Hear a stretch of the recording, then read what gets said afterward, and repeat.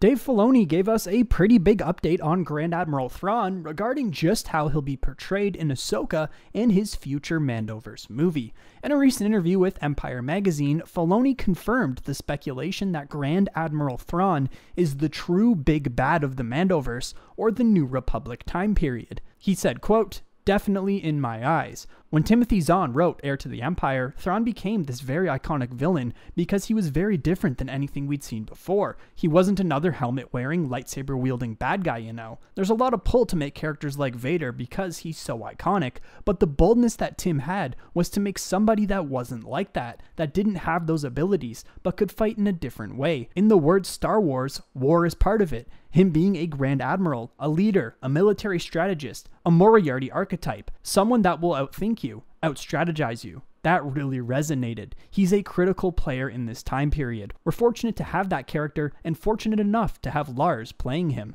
I guess that certainly shuts down the speculation on many fans' part that he'd be more of an antagonist but not a true villain. I just personally cannot wait to see live action Grand Admiral Thrawn.